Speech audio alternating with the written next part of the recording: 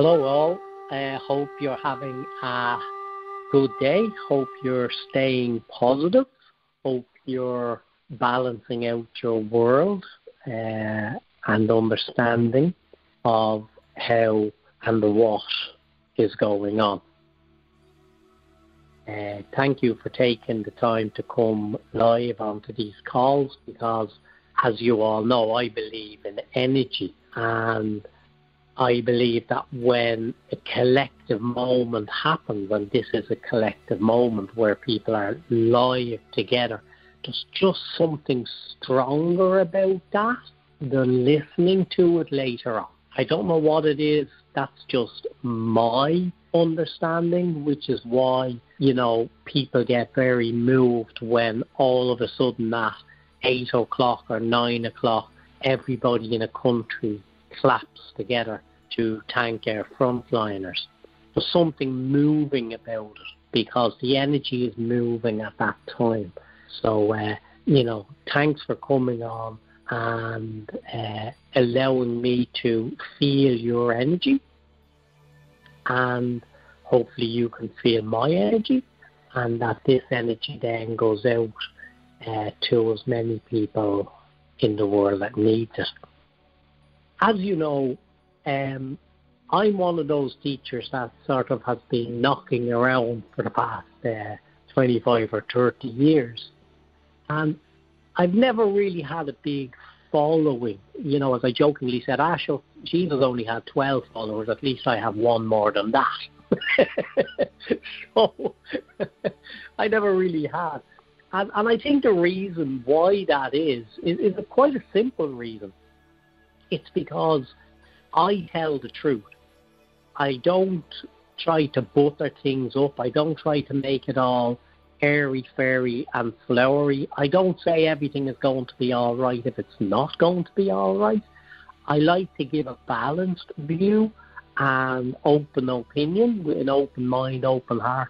And as I say, I will only ever share stuff that I've gone through myself, which is why, you know, on some topics I just won't speak because I haven't had the experience and I don't want to just regurgitate other people's opinions, thoughts, or crap.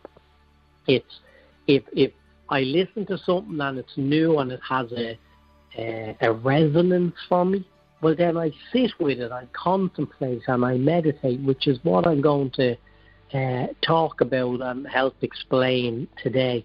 So I'm going to talk about stuff today that, strangely enough, would probably make more people run away from me than ever be attracted to me.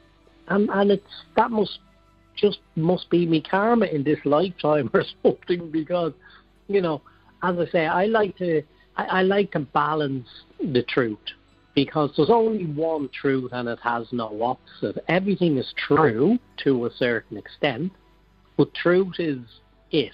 There is no higher than that, which is why when I wrote my first full book, I called it More Truth Would Set You Free because I realized that this was a, a marathon rather than a sprint or a, you know, that the truth is just too big. It's a mystery, and I didn't really want to get that deep into the mystery. So, one step at a time, it became more truth. I found more truth, and that brought me into a, a much more deep uh, experience. And those deep experiences have helped me to become the person I am. And I, I you know, when I look at everything that's going on, I look at everything that's going on. I don't look at just one side of it because it's no good, you know, putting your head in the sand if if a storm is coming. It might be better to get in behind a rock, you know. But if your head is in the sand, you might be covered in sand and die.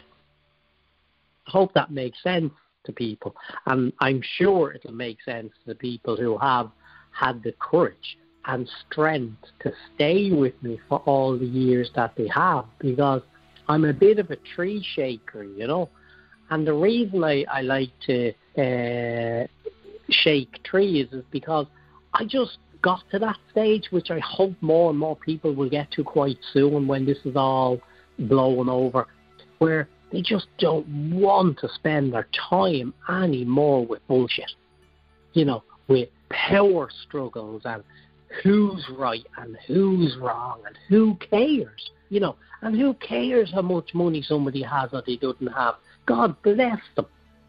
Because we really should be getting to that stage now where it's all, you know, more about uh, having the ability to just watch in, in as much silence as possible as to what's going on in order to help yourself uh, through this journey.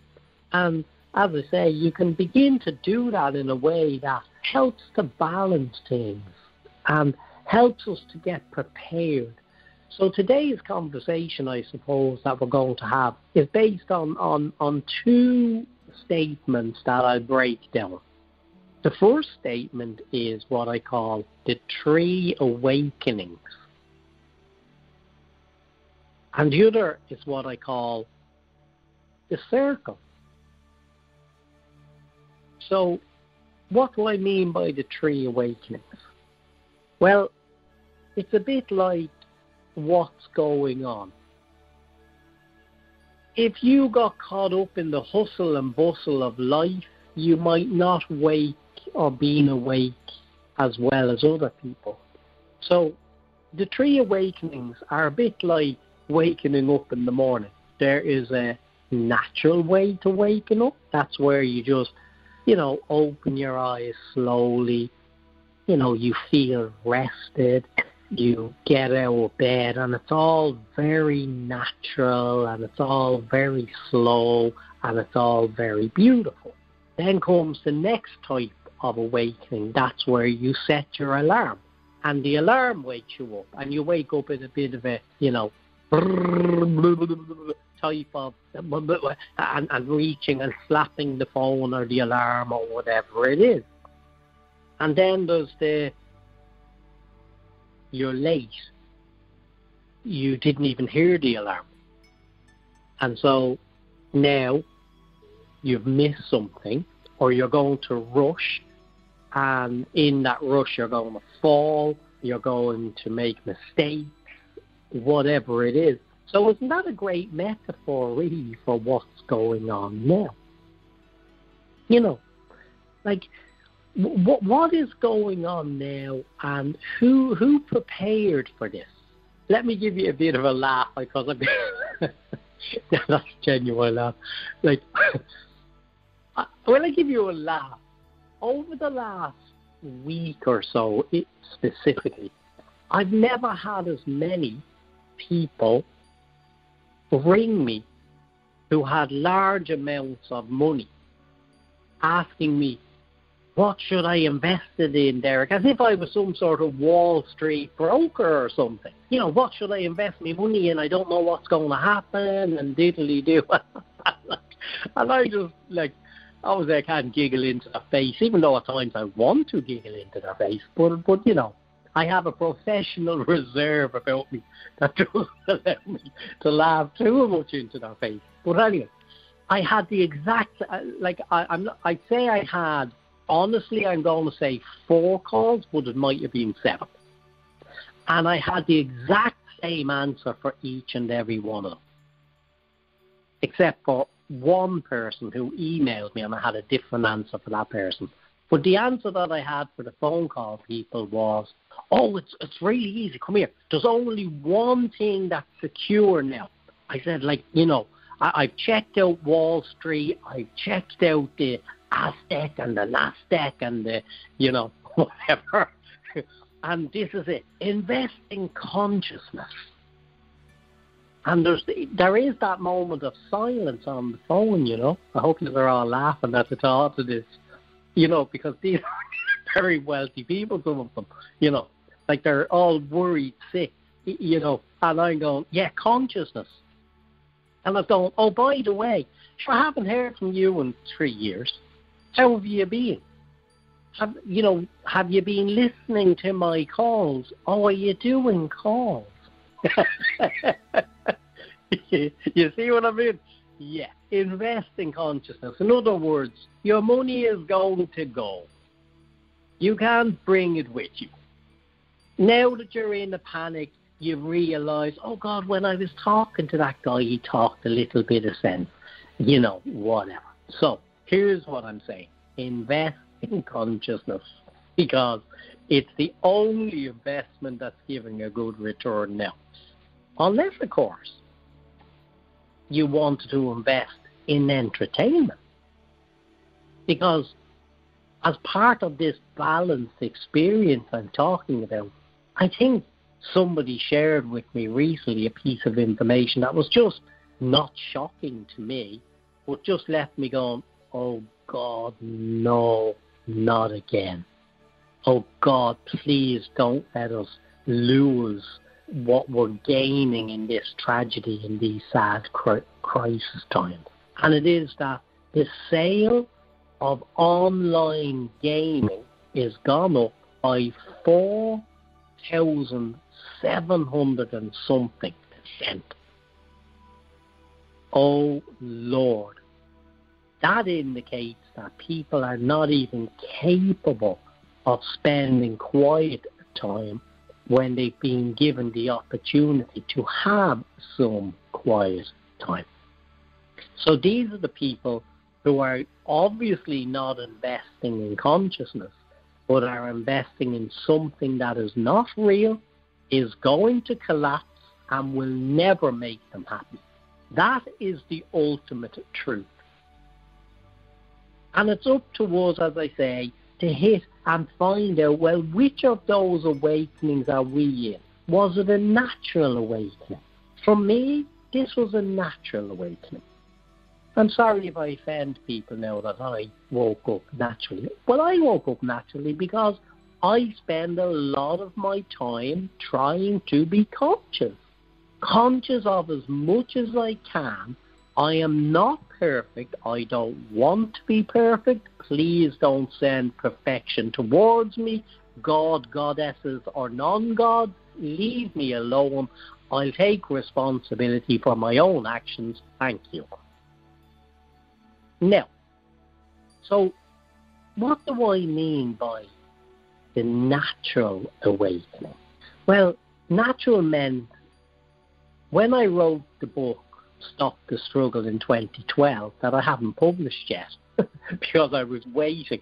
Uh, might be time soon. But in that book, as a lot of you know, I wrote when the world economy collapses, and it will. And I basically, and I'm not one of these people jumping on the whole bandwagon of I predicted this coming and whatever and so on, and I'm some sort of Nostradamus or, or Edgar Cayce. Or, no, I'm saying that in the natural cycle, everything is a circle. A moment ago, you heard me speak about circles. So, what does a circle look like? Well, the first thing to understand is humanity doesn't change quickly. It might momentarily change, but it won't be able to hold that consciousness. So it will revert back quite quickly. If it's natural, well, then it's more of a slower type of event, like watching jelly or gelatin set. You know, takes time. And the reason for it to take that time is because it goes in circles. Everything that's happening now has happened in the past and will happen again in the future. And here's the interesting thing you don't even have to be the brightest bulb in the packet to understand that what I'm about to say to you now is spirituality 101. If people are woo woo wooing with this spirituality stuff, roam them away from they're not grounded and they're not in a good space. If you have somebody who is just left brain, facts, facts, facts, roam away from them, they're not having a happy life. Look for the Buddha. Why do I say the Buddha? Because the Buddha said in his teachings it's about the middle way. It's about finding that middle way. So how do I know, or how did I know, or how could you know when the next event is going to come? In other words, how can you predict the future? You might go, oh, that's all woo-woo stuff. Oh, that that's woo woo. Ah, Derek, look, nobody can produce. You know, I've heard of psychics. You know, and I've jokingly when, especially when I'm walking through the likes of Los Angeles, and you see some, you know, psychic with a sign on the window saying closed. You know, and I jokingly always, always, it's just my sense of humor. I always go, I wonder did they see that coming? You know, you know, and how come none of them ever won the lotto?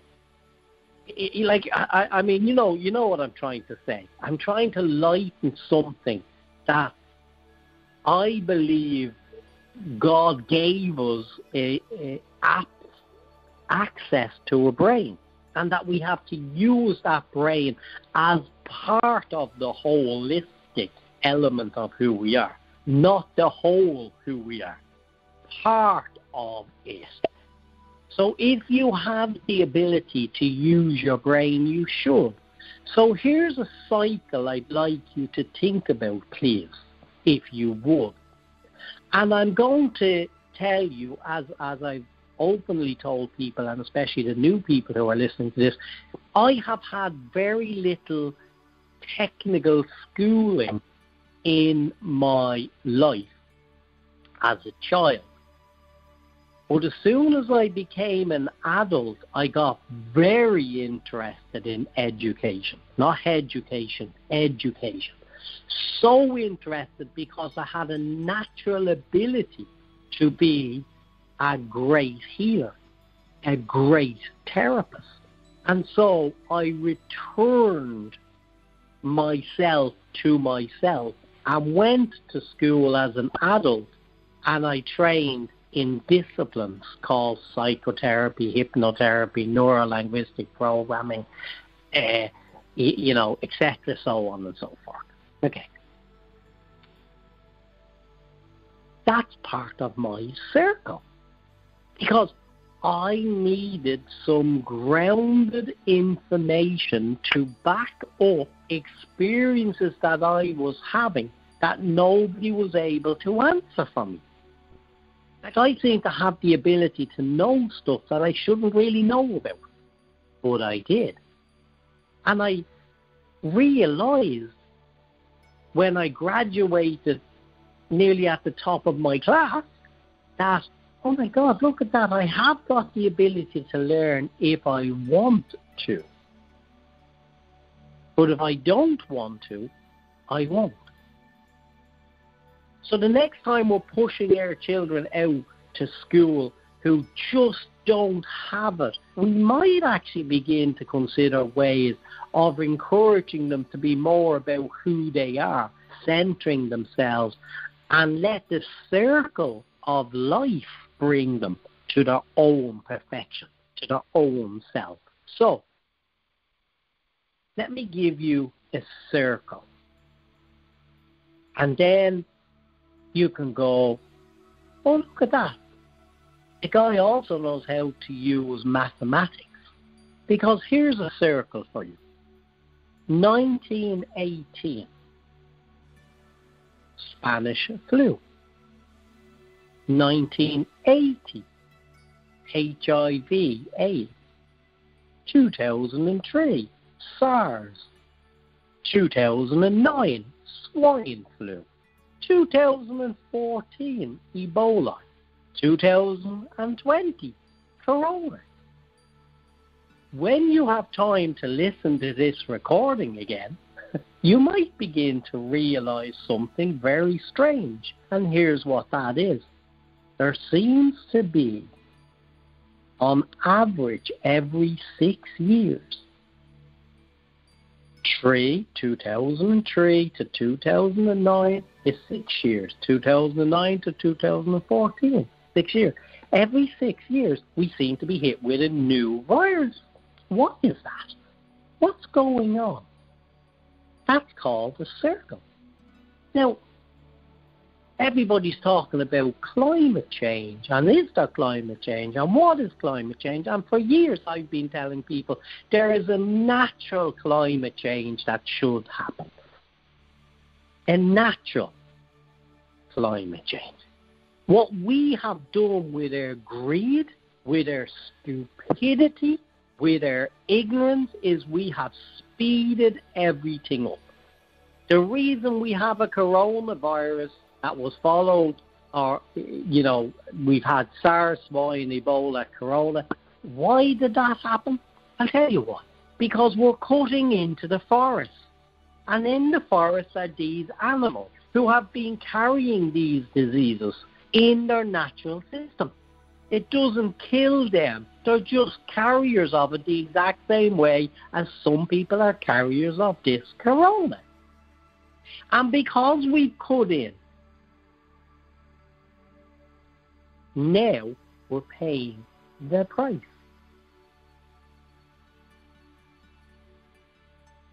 So facts are facts, people.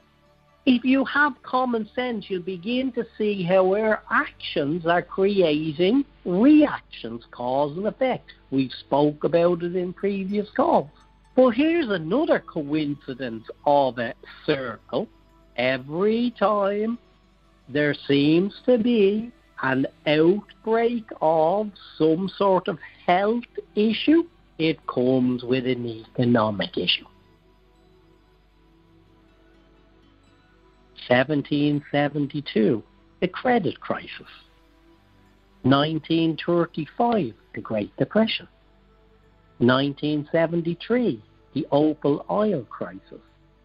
1997, the Asian crisis. 2008, the financial crisis, and 2020, the corona crisis, or whatever they're going to call it. Again, look at it. It's another circle. The great thing about this is it shows that this too will pass. But the question that has to lie on people who are investing in consciousness is this how can we help to slow down the suffering? How can we help? How can we serve ourselves, our family, our community, our country, our world, our cosmos? How can we do it? By slowing things down, not by creating a 4,700% increase in gaming, online crap. It's about contemplation and meditation. And there's a huge difference between contemplation and meditation. I've often said, and again, this is why people, a lot of people don't come to me. I say it again and again. One of the most dangerous things you can do is meditate. Why? Because if you were truly meditating, and believe me, I've met my dark night of the soul. If you are truly meditating, you meet the dark night of the soul. That's why, if you're lucky, if you're blessed, if you're graced enough to have a physical teacher who knows what they're doing to help you, you will become deeply happy, deeply moved into grace. If you have the grace to have one of these teachers. This is why they created monasteries. Did you know that? And nunneries or convents, whatever you want to call them. They created those buildings because when people chose to leave the crap of materialistic life behind them and go for the goal of goal to find out who they are, what God is, or whatever, they went into deep crisis. And in that deep crisis, they would be put into a cell and nurtured and looked after by the chief abbot, guru, teacher, or whoever, whatever title you wish to give them. If you ever heard of a saint called Padre Pio, you can be there's a pure example of somebody who went for the dark night of the soul, so much so that he ended up with stigmata on his body because his conscience dropped to such a manifested state of the fight of good and evil that it affected his body physically. So, meditation is a very dangerous thing. Now, I hope these aren't all now going to run away from the meditation classes. Just go in and go, you know what? It's not meditation, this is contemplation. If meditation happens, you probably won't know it till it's too late and somebody has to hold you down or whatever it is. But in general, contemplation is really good because if you contemplate, where are you at? When you're looking at people, where are they at? Have they woke up naturally or have they just woke up now with the alarm going off? In other words, did they hear the alarm going off in, you know, November and December? Because I certainly did. I certainly felt it happening then, naturally, because all as I kept hearing about, because I had ears to hear. I wasn't just out trying to make money or drinking myself into oblivion or eating myself into oblivion. I was listening. I was feeling. I was experiencing. And all I could hear people saying, even before that actually, but definitely around then, was, I have this flu. I've had to take an antibiotics. I've had to take an all. I just can't shake it. Well, if you haven't figured out by now that the coronavirus or whatever it is has been around longer than it was detected, you might have missed something. I'm aware of people who are carrying it in January, and I had to help them with energy because I was praying because I seen what they had, but they didn't know, and I just held them in grace because if I didn't, I believe they could have went into crisis. And that's when they were sitting physically with me. And I couldn't tell them because that's not what they were ready for then. They had to contemplate, they did, and they got through. And so, here, this is the circle of life. There comes a time when you know, the tables turn, and the tables have turned now. In other words, no matter how wealthy you are, how important you thought you were, whatever, this virus doesn't hold. It's coming. If you haven't got consciousness, you haven't got peace, and you haven't got love, it's coming. It might only touch you, or it might complete your karma, which is a good thing, and take you home to your Creator. And that too is part of our journey. I, I, I'm amazed how many people have sent me pure mulligans, muck, crap, you know, links to this and links that. I got a link recently of somebody who was saying, oh, the whole world's internet was going to be cut off uh, for uh, three days, four days, whatever it was. And guess what? After it was uh, everybody, no phones, no internet, no nothing. And then when it all came back up again, they were going to arrest, uh, have arrested hundreds of thousands of people uh, for doing bad things. Well, maybe I've been asleep, but I haven't seen it. Or maybe I'm not meant to see it. Or maybe it has happened. Or maybe we need to stop and start just creating proper foundational teaching. Foundational teaching. Have you ever seen a house being built by putting up the roof first and then the walls and then the foundation? No. So let's let's keep it basic, people. Let's look at the facts that will help us to understand that humanity has cycles of doing things. And this is one of our greatest opportunities if we can take it in the crisis that is all around us. How do you know a good teacher? A good teacher sits there while crisis is going on and just keeps talking about the teaching. This is what you need to do. This is as simple as it is. This too will pass. This is part of a cycle. Here's the information. And what it does is, as I say, it turns the table.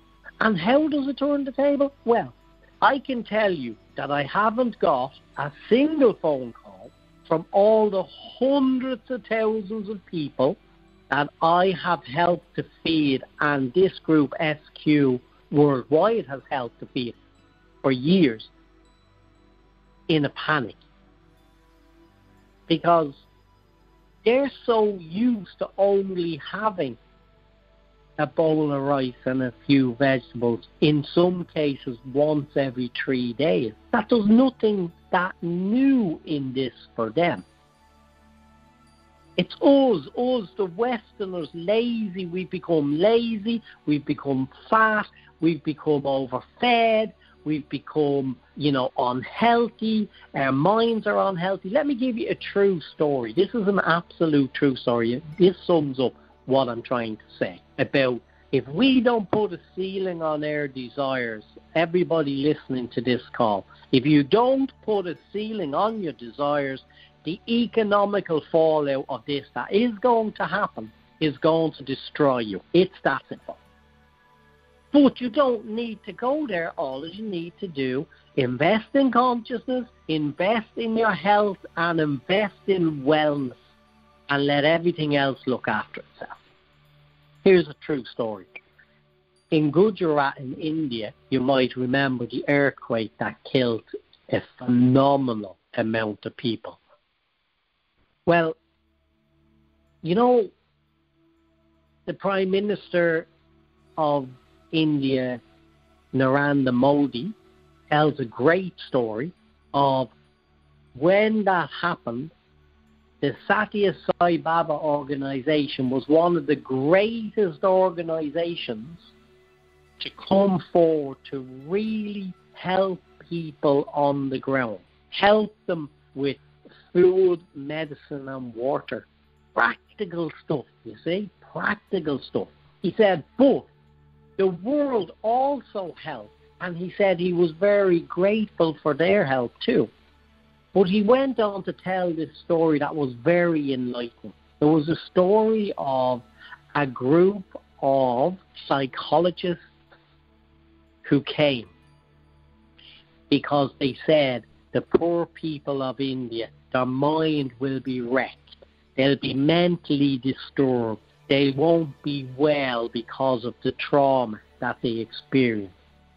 And when that group of NGOs specifically for to help with that particular thing came over, they all left within a couple of weeks. And they left because they couldn't really find anybody who had huge mental trauma. Imagine that. It's a true story, people. And they didn't have the trauma because their piece of plastic with some sticks that used to be their home was still there. They just had to go through the rubble to pick it up again and start all over again. The bags of rice was still there in the sacks.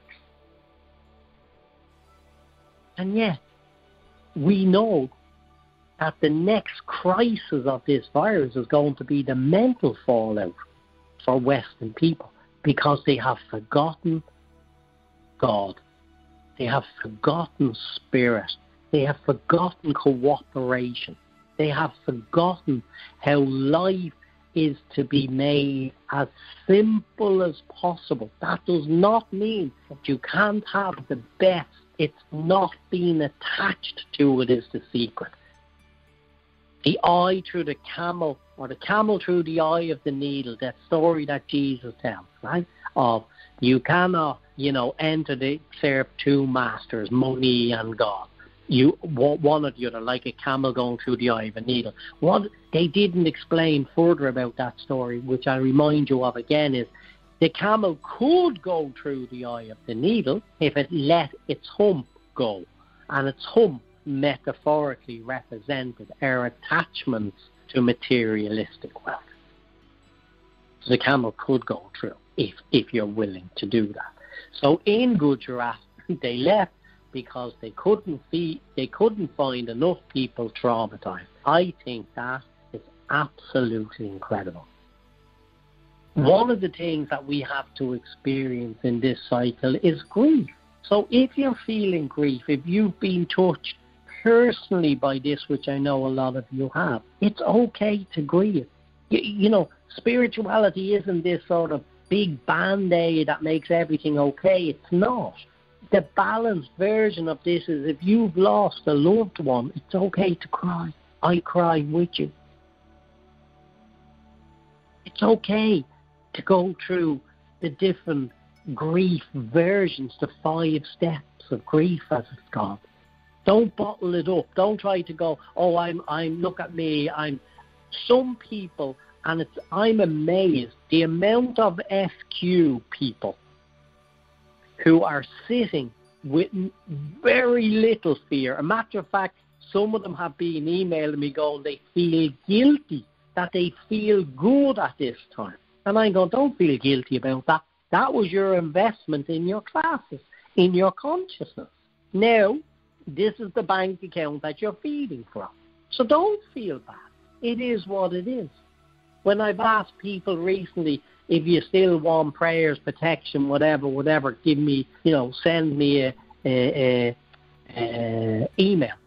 I, I, I wasn't doing that, you know, for, for some ego gratification or something. I was doing it because I'm now identifying people who are just lazy, who have set and just absorbed all the teachings and all the gifts and all the miracles and all the wonderment and give nothing or very little back in return. They couldn't even take two minutes out of their time. Like I have had thousands of students over the years, okay? They couldn't take two minutes out of their time to send me an email and what I was more interested in, what was the hope? Because if I knew what the hope was, I knew what their dream was. If I knew what their dream was, I knew what teaching to give them to manifest their dreams. Because dreams are only dreams until they're manifested. So I'll wrap this up before I keep going on and go on to the questions that people have. But it's time now, you know, that we understood and understand that governments are here to serve us, yet they seem to be just serving themselves. We need to turn this around by taking it back, taking back our power and our enlightened selves. Now is the time, people. Now is the time to take back your own power. Freedom of speech is a great thing but only if what is being said is the truth, not the sort of crap that's going on online. People being able to make any type of allegation against anybody or any organization with no proof to back it up. No, those, no. Now it's time for us. Now it's time for us to shine, for us to come alive, for us to go my investment is now paying dividends. So here's the questions that have come in for today. Hi, Derek. Uh, hi, Derek. Forgiveness exercise brought me back to love immediately. Thank you for sharing this with us all. Again, people, that is a very powerful exercise. I put a longer version up on YouTube. Send it to your friends because if you think for a moment that there's one being on this planet that doesn't need to do forgiveness for themselves or others, you're delusional. Send it to them, get them working on it, it'll help them in the long run. Would it be a good idea to physically clap when we notice that we are acting or being a victim or acting out any other negative emotion? Good question. Would you suggest any other physical emotion to get back to the feeling of love? You've just answered your own question, and it's a great question. Yes, if you feel that you're going down a certain path and you're within that path, you are finding you're, you're, you're getting dragged into a deep, click your fingers, clap your hands, you know, do something, get out of it, move on, and get back to love. Absolutely. In NLP, they call it anchoring, anchoring it all in. Next question. Uh, Hi there, just wanted to say how much I appreciate these calls and all blessings. I would like to stay on the blessing. Oh, yeah, you're on it. Uh, I'm going to call you by your first name, Kathleen. You're you're you're on my list. As as are even some of the people who haven't bothered reaching out to me. I'm kind of hoping that somebody, you know, says to them, "Have you been listening to the teachings, or have you just been sort of worrying about, you know, whether you're going to die or whether it's the end of the world?" Um, hello, Derek. I don't like to think about people dying alone, but it is happening. So many, if not most people, with the virus whether they are dying at home or in hospital. I'm wondering if you can talk about the spiritual and emotional aspects of this. Um, great question again. I Haven't much time to go into it, but I have did teachings on the Bardo. These are the teachings that come from the monks who have studied the death and dying process. Within it, there is one thing that is supposed to be one of the highest deaths possible, and that is uh, in in Tibet. They say that the body should not be physically touched for three days prior to them dying.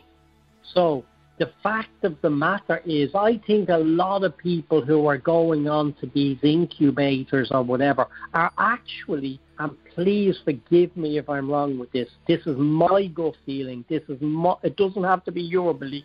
It's my belief. Okay, I watched Linda do this, so I, I know she used it as an exercise. Okay, she went on the incubator for three days, the life support for three days, and then she clicked out. I was there for the third day, tapped her on the crown chakra, and out she shot everybody happy. What's going on now is I believe that the souls who are being called home now to help us from the other side may be using those days to quieten their space to prepare them to go to the highest rounds later on. That's what I think. Uh, I hope that was helpful information in some way. Uh, happy Easter. Uh, where we go. Hello, Derek. You are addressing. Uh, thank you for addressing my previous question. My next question pertains to this time of introspection and great potential for transformation. And there is confusion about manifestation. I live in the United States America where much needs to be realigned to make more functional. Okay, I got your question. I, I'm going to answer this question with a truism or a truth, okay? Again, we're talking about these circles, okay, and about things going around. All right. So, during the Spanish flu, okay, there was a war going on in Europe. These are facts now, people, okay? You can check them out for them yourselves. You see, I'm not that intelligent. I never declared myself intelligent. I'm, I'm very wise not that much intelligent. But I love when I get these this information that helps me to put my intelligence to the wisdom level and the wisdom level to enlightenment. But what happened was this. During those times, the reason why more and more people died then, I think there was up between 30 and 50 million people died with the Spanish flu. We had a war going on there was a situation in America where the president of America back then in the flu, you can check this out, don't take my word for it, right? Uh, he ordered soldiers onto these large boats to go and fight the war in Europe. And even though he knew that they had the potential of spreading this flu to each other, this is where the coffin ships came from. That saying of the cof- cof- coffin ships sounds like coughing, doesn't it? Well, coffin ships. Okay? And so what happened is they spread it all over the place. So it's fascinating to now watch that the countries who left it too late to act stopped people being in congregations. They are now paying a bigger price. They're now saying that, and God bless us all, that the United States of America will probably end up with the biggest death rate in the world. that after in in in in the America in Europe, uh, England will probably be, and yet the two leaders of those countries are the two leaders that in their wisdom, they decided, Asher, it's all grand, it'll be gone in a few weeks, and Asher will do the herd mentality. Well, that's what happened in the Spanish flu. When the president was told by his medical team, don't put people that close on boats together or they will die, he didn't listen to the medical, he listened to the warmongering general who said to him, but we need the men to fight. Now, if they had any sense at that time, they would have known that people who already had the virus already had built up the immune system for it, and they were the ones that, if we really wanted to send people to die either of the virus or by stupidity of war, at least they would have been the people to send. So, when these people make big decisions like this, out of some form of I don't know what, except I'm going to call it a three letter word E, G, and O. I think the poor people pay for stupid decisions, which is why I do hope that when this all blows over, that we look at our leaders and say, we put you in there to serve us, not yourself. You haven't done a great job. Get the fuck out. Yes, I did say that word. Get the fuck out because we need to get people in there who would know what to do for the upliftment of humanity at this time. So, that's my opinion. I'm entitled to it, somebody once told me. Freedom of speech, somebody once told me and it's the truth. My truth, anyway. I have been learn, leaning into the teachings and support from you and the group in SQ Worldwide and can now bring my mind into a calm place. Uh, thank you so much for the teaching, teaching, being fully present in the world at this time. While this is going through this, lending your support and love. My question is okay. Is contemplating our own death a worthy daily practice? So as to reduce the fear associated with death and dying? Yeah, look, it's the same question. I feel as if I would have to let go of hundreds of attachments long before I ever felt ready to let go of my last breath. Is there any kind of practice you know of that helps release attachments? Yes. Simplest one is service to others. Second, breathing conscious Lee. Third, anything that you cannot control, you shouldn't be attached to. Ah, contemplate that one. Anything you cannot control, you shouldn't be attached to. I like that. I'll leave you with that one. Next question. Can you talk about how can we still be present in a conversation with a dear friend? And witness their suffering and hearing their cry for help and still not listening to your calls, which I know will alleviate their suffering. Well, thank you for knowing that. How long is enough? And balancing with compassion and detachment. And the witnessing and knowing of their pain sometimes get mixed up on my own witnessing until I get centered again. I am doing the bubble every day and other in any other insights would be highly appreciated. Again, you can bring a horse to water, but you can't make them drink. You can send people links to stuff that would be really helpful for them, but you know what? If they just don't get it, they don't get it. It's the teaching of ice cream flavors as many, paths are many, destination is one. Ice cream is ice cream, but there are many flavors. Not all flavors are liked by all people. What I would say, and I've always said this and I will repeat it again and again, you stay calm. You stay in love. You apply the teachings and they may just spot what you have and then look into that package. But if you're running around trying to help people who don't want to be helped, you're going to look crazy. If you're screaming at them, going, "Why don't you do something?" You're going to look crazy. And did I mention you're going to look crazy? Okay, so don't try to change anybody. Change yourself constantly. That way, people may see you for who you are and be grateful to watch you sit in contemplation and meditation. Next and last question. You must have given up on questions because there was only a few this time.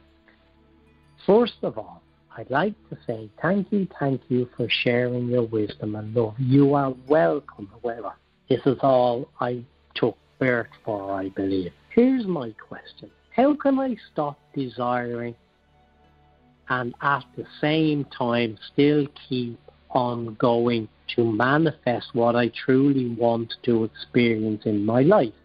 In my case, a fulfilled relationship.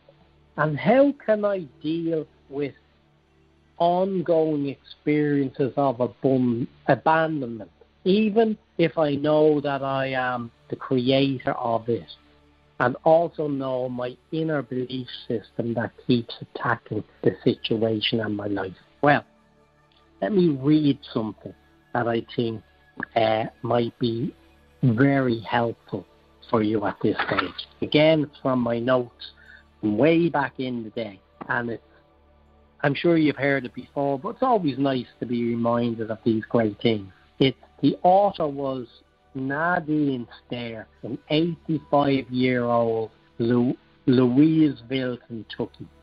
And the name of it, and I'm sure you've heard it before, but it's nice. So take a moment now to quieten down as we end this call with this reading. Take a deep breath in, exhale out. I know I sometimes rush through the questions, but that's only because I'm trying to get as much tools out to people as I can. But the real me is the one sitting here right here and right now. After centering myself and forgiving myself for rushing through. If I had my life to live over, I'd like to make more mistakes next time. I'd relax I would lighten up. I would be sillier than I have been on this trip. I would take fewer things seriously. I would take more chances. I would climb more mountains and swim more rivers. I would eat more fruits and less beans. I would perhaps have more actual troubles, but I'd have fewer imaginary ones. You see, I am one of those people who live sensibly and sanely hour after hour, day after day. Oh, I've had my moments and if I had to do it over again, I'd have more of them. In fact, I try to have nothing else, just moments, one after another. Instead of living so many years ahead of each day, I've been one of those people who never goes anywhere without a thermometer or hot water bottle a raincoat, and a parachute. If I had to do it again, I would travel lighter than I have. If I had my life to live over, I would start barefoot earlier in the spring and stay that way later in the fall. I would go to more dances I would ride more merry-go-rounds. I would pick more daisies. There's somebody who hit the wisdom at age 85. Goes to show you, enlightenment can happen in a moment. everything that has brought you to this moment is now your greatest gift. As the song goes from Mr. Cohen, it says, Don't worry about the cracks in you, that's how light gets in. Don't worry about the cracks in you, that's how light gets in. So every experience you've had is valid, my friends, my fellow travellers through this game of life. Each and every one of you is authentic in your own right. Each and every one of you have a lesson to teach in your own right. Each and every one of you have a voice to be heard. But when you're using the voice, don't waste words unless they're in service to humanity of which you are a part. May you all stay safe in the hands of divinity. May the divine hand only close around you when it is your time to go. And may we have the wisdom for a nano moment when that hand closes around the loved one, not to cry in pain, but smile in grace, knowing that the Creator is calling back some parts of itself to itself. Because the Creator once separated itself from itself so it could love itself more. Now, it is calling those parts back to itself to create a whole new world, a whole new creation, a whole new game. Enjoy the rest of the week. Be in peace. Be in love. Be the light you are. God bless you all. And I hope when this is all over, as I say, that I get to hug each and every one of you physically because the value of that hug has just gone up by thousands and thousands and thousands of dollars than it ever was valued before this current set of circle of life events. Enjoy your week and I'll uh, talk to you all again for our last interaction over the phone like this on Thursday before I go to a new platform which is doing meditations, contemplations, and uploading stuff onto my YouTube channel for to help you during this time and all your time on this planet. God bless and talk to you all Thursday. Bye bye. Slán agus beannacht in Irish.